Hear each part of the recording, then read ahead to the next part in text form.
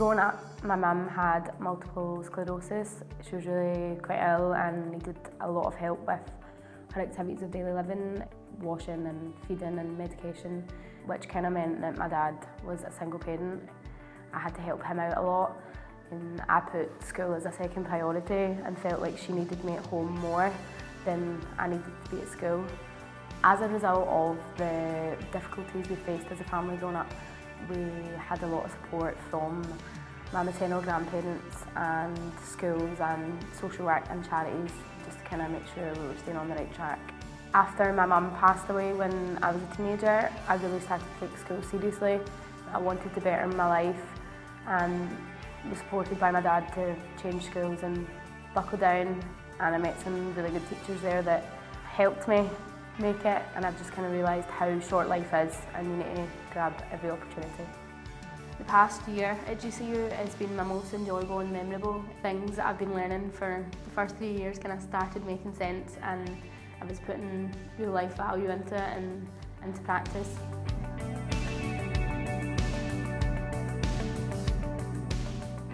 I received the first scholarship to go to the African Leadership College in Mauritius and that totally pushed me out of my comfort zone. I'd never really been away from home properly, um, hadn't had a passport and living wise, you know, they live a totally different life over there and that gave me the confidence to go to America and go out and do what I wanted to do, which probably before ALC I wouldn't have done.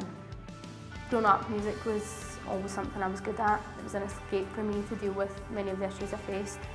I spent a lot of time at home. I managed to teach myself some instruments and the basics of music and found out I was quite good at it. I found out about an opportunity to work abroad with people with special needs and would combine music with that as well. So I couldn't believe that I could do my passion and get to travel and work with that population as well.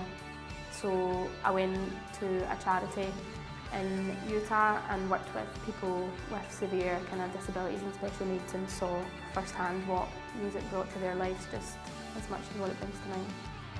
I'm now going into my fourth year specialising in psychology.